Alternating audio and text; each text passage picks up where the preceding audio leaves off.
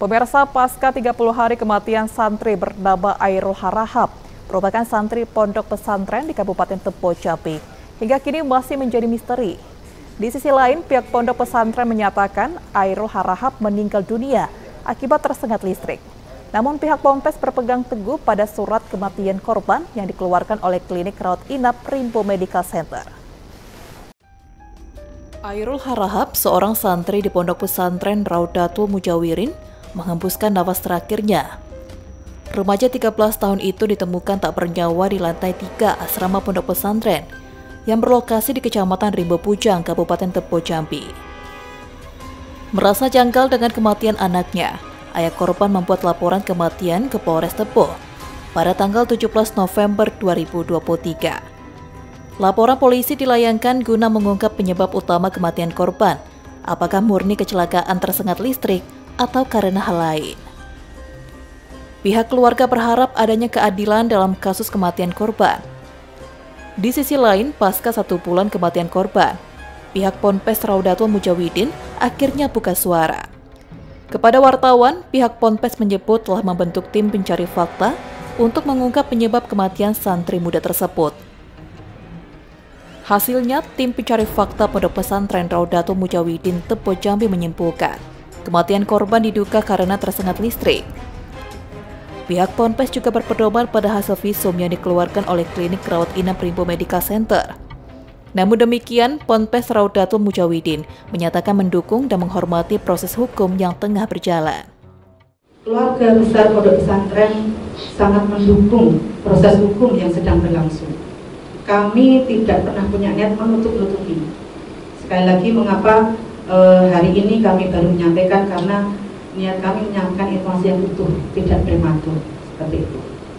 Kemudian kami juga sangat kooperatif. Apa pun yang diminta dari kepolisian kami terbuka.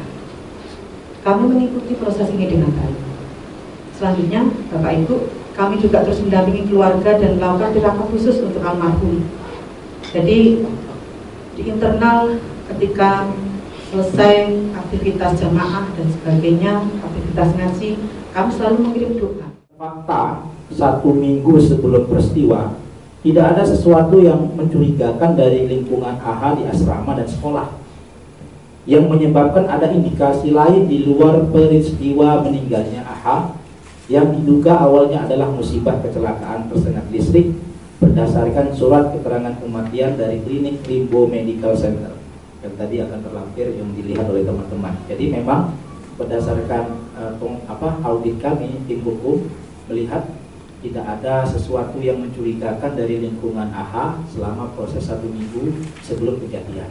Dan hingga, hingga kami kemudian mendefinisikan mendasarkan kematian beliau sesuai dengan visum awal dari klinik Medical Center di Rimbo Bujang. Selanjutnya, kronologi fakta pada hari kejadian. Rekan-rekan jurnalis semua, pada hari Selasa 14 November 2023, berdasarkan rekaman CCTV tepat pada pukul 17.41, AHA tertangkap kamera berjalan santai di area kamar dengan menenteng kain menuju pintu samping untuk kemudian terdeteksi dari rekaman naik ke lantai atas. Dalam rentang waktu 17.41 sampai 17.55 WIB, atau lebih kurang 14 menit AHA naik ke atas dalam keadaan sehat sampai kemudian digotong teman-temannya untuk diselamatkan dan dibawa ke klinik Rimbo Medical Center. Setelah sampai di klinik, AHA dinyatakan meninggal oleh klinik dengan keterangan karena kecelakaan tersengat aliran listrik. Berdasarkan keterangan itulah, kemudian pihak pesantren mengetahui bahwa AHA meninggal karena tersengat listrik. Jadi tidak ada ucapan pesantren itu yang kemudian uh, di apa dianggap tidak berdasar ya. Kami mendasarkan pada surat keterangan dari uh, klinik. Kasus kematian santri muda di Ponpes Rodatul Mujawidin ini menjadi atensi pihak kepolisian Riso Tebo. Polisi berkomitmen akan mengungkap kasus ini secara terbuka agar terang benderang. Selain memeriksa sejumlah saksi, polisi juga membongkar makam korban dan melakukan otopsi. Novia Putri Sanjaya, Cek TV, melaporkan.